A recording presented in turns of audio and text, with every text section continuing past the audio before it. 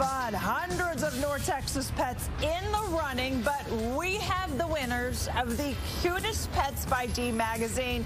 Congratulations to Sona here, this big, beautiful lady, and Hades, the little pup we have here as well. Catherine Wendlandt of uh, D Magazine here with the uh, the winning pet owners as well. Thank you so much for being here.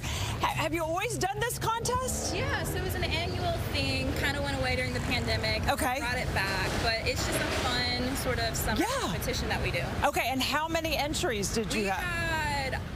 Had, don't know the number off the top of my Okay. head, but hundreds. Hundreds. Okay, safe to say hundreds. And the Reader's Choice winner is this big, beautiful girl here. Uh, hi there to owner Gregory Pizarro Jr. How old is this girl, Sona? And it, what, what type of breed is she? She's an Irish Wolfhound. Uh, Irish she- Wolfhound, she okay. just turned uh, four years old five days ago. Four years old. And what do you think it is about her that just made people fall in love? Other, I think it's her size. Yeah, she's a giant.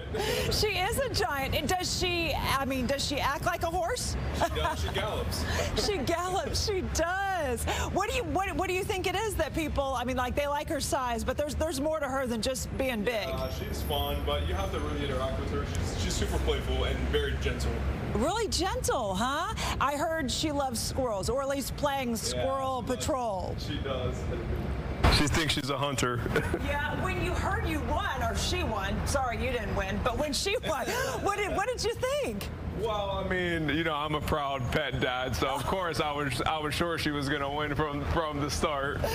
So sweet. So she's loving all the traffic Yeah. going by. Yeah, she's never been in the city, so she's Oh, like. really? So this is all Yeah. brand new to her. What a, what a sweet baby. And then the editor's choice is Hades right here. Oh, so sweet. And uh, Christine Kool-Aid is the owner of Sweet Hades. Um, what type of pup is Hades? He is a mutt of all sorts. Okay, one of a kind is what I like to call That's them. right. he is cute. And what do you think it is that the editor saw in, in him? He's very quirky, and this underbite is a million dollars. Yeah, yeah, so cute. And, and as far as what makes him so unique to you, what is it? You just have to get to know him. He's so special, and his personality is so funny. Uh-huh. How old? A year and a half. Oh, still a puppy. Just a baby. Still acts like a puppy? yes, very much. Yes. Oh, so cute. Now, when they told you the editors were like, "Oh, we gotta, we gotta, you know, make sure this one gets a prize too," what did you think? Oh, I cried. Oh, you It was so special. I mean, I'm his mommy, and I think he's the cutest dog in the world. But for Dallas to recognize, I was cool. so grateful. Yeah. Pretty pretty cool. I love it. So the contest ran all summer. You guys got to do a professional, well, you didn't. The dogs got to do a professional photo shoot.